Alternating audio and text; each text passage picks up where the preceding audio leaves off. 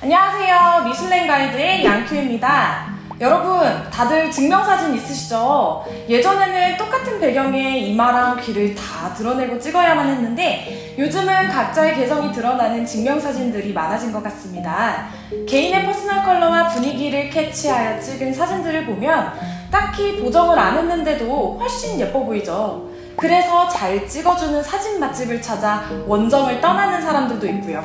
나나나. 사실 요즘뿐만 아니라 몇백 년 전에도 이런 일들이 있었답니다. 사진이 아니라 초상화라는 점만 달랐죠. 19세기 당시 귀족들은 화려한 퍼포먼스와 그에 못지않은 실력으로 초상화를 그려주는 파리의 한 화가에게 미쳐 있었는데요. 그가 바로 지오반니 볼딘이었습니다.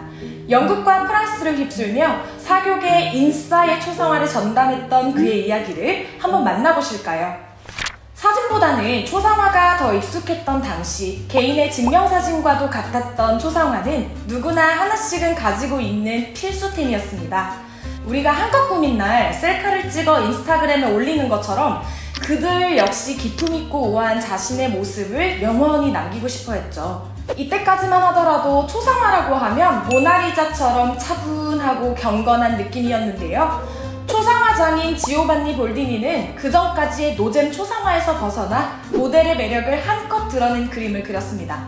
그 중에서도 볼디니가 그린 여성들의 모습을 보면 다양한 자세로 저마다의 분위기를 뽐내는데요. 요즘 유행하는 증명사진처럼 각각의 외모, 옷차림에 따라 다양한 색채로 표현한 모습입니다.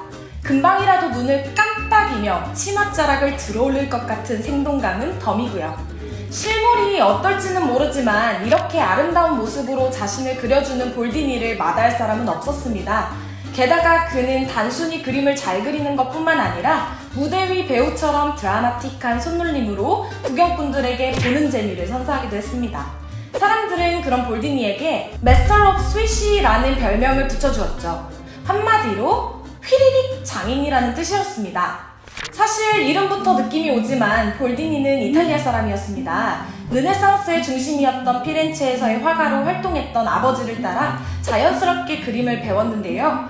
종교화를 그리던 아버지와 달리 볼디니는 신이 아닌 인간의 모습을 담는 데 관심을 가졌습니다. 그에게는 눈에 보이지 않는 하늘의 아버지와 천사들을 상상하는 것보다 다양한 모습의 인간을 그리는 것이 더 즐거운 일이었었나 봅니다. 그 후 미술학교를 졸업한 볼디니는 파리 여행 중 만난 예술가들과 친구가 됩니다.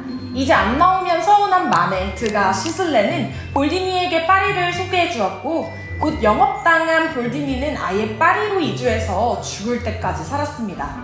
그 전에 볼디니는 잠깐 런던에서도 살았었는데요. 좀 신선하고 힙한 초상화를 본 사람들은 그의 모델이 되기 위해 몸을 불살았습니다. 파리에서 역시 그의 인기는 지속되었고 그의 초상화를 소장해야만 인싸라고 인정받을 수 있었습니다.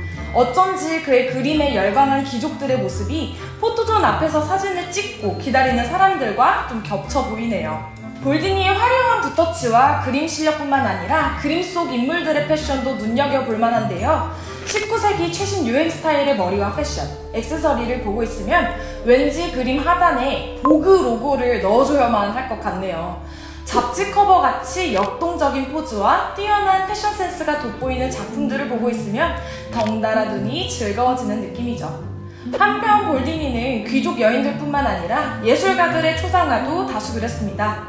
사전트, 휘슬러, 로트렉 등 당대 예술계를 주름잡던 화가들도 볼디니의 화폭에 담겼죠.